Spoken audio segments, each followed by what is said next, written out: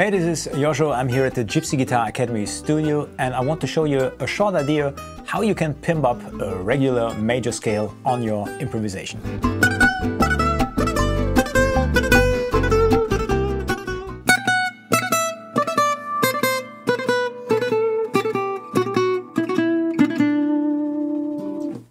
I use this uh, concept very often. It's also part of the Linea Blanca lesson, an original composition that I teach at the Gypsy Guitar Academy.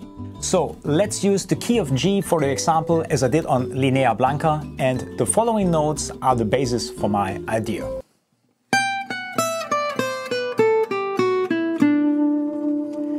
So I use 11 notes in total starting on G, 15th fret high E,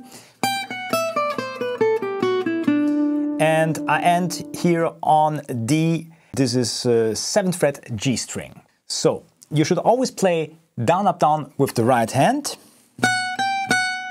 It's always uh, the same uh, idea for the right hand. And uh, now we have a look what we do with the left hand. So we start here with the first finger, 14th fret, and we need the first and second finger. We play 14, 15, 14, high E. As I mentioned before, of course, down, up, down with the right hand. Then we continue with the first and third finger, so this time 12, 14, 12, high E. Then we continue, same fingering, 10, 12, 10, same string. 8, 10, 8, uh, also same fingering, and again, high E. Then we play 7, 8, 7. So here again with the first and second finger. Then I move with the third finger to the 10th fret B string and I start on B. Upstroke on high E, first finger is on 7th fret, back to third finger 10th fret.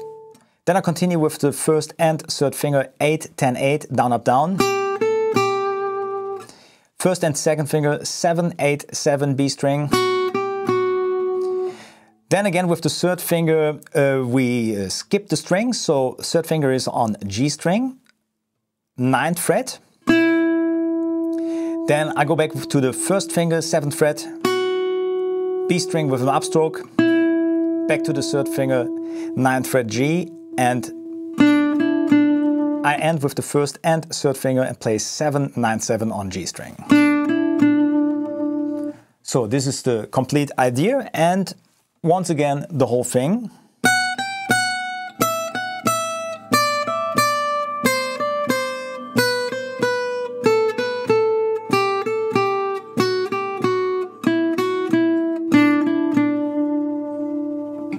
Yeah, that was the full lesson and if you want to be informed about future videos or lessons just subscribe to my channel and click on the notification bell then you will be up to date all the time.